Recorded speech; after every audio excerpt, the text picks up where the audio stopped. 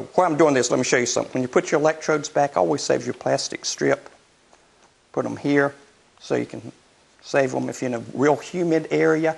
You would then take this, put it back inside the little case, put it in your refrigerator because refrigerators are frost free and they tend to take out of the electrode any excess perspiration or humidity which prolongs their life.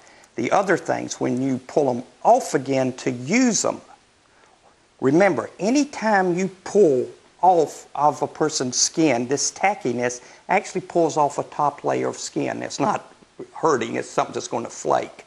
But when you start back up out of the refrigerator, you may want to take a little toothbrush with some water on it and you just push, push in one direction. What you're really doing is you're knocking off the skin, which is a resistor electricity, and you're fluffing up the electrode itself, which means you have greater contact area. Now, one of the ways we also work with is we have another product, and it's called Skin Prep.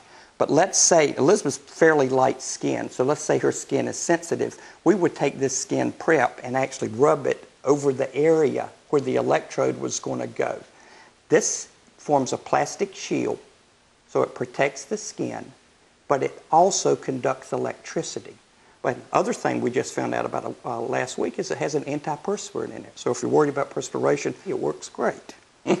Actually, the people that tend to use that for the perspiration, people who use the um, stimulation while they're at work and they work outside, they perspire heavily, they might use that on their back and help, it helps the electrodes to adhere um, throughout the day so that they can use it while they're working outside.